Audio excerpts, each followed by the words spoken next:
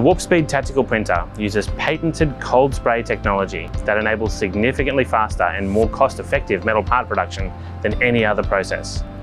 It can print large metal parts up to 40 kilograms at a rate of 100 grams a minute.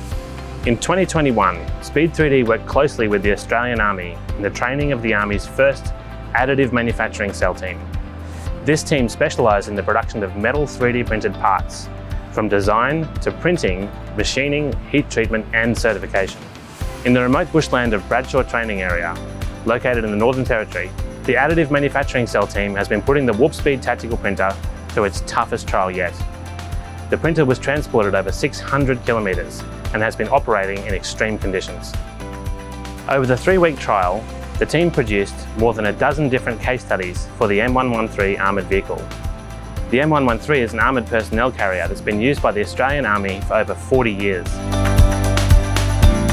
One of the parts produced during the trial was this PMV custom tool. This is a uniquely shaped spanner that is required to remove some fittings in the PMV engine bay. This part was able to be printed, heat treated, machined, tested and validated, all in the field. The team was also able to redesign the part increasing its strength to reduce the likelihood of future damage. This part took just 30 minutes to print.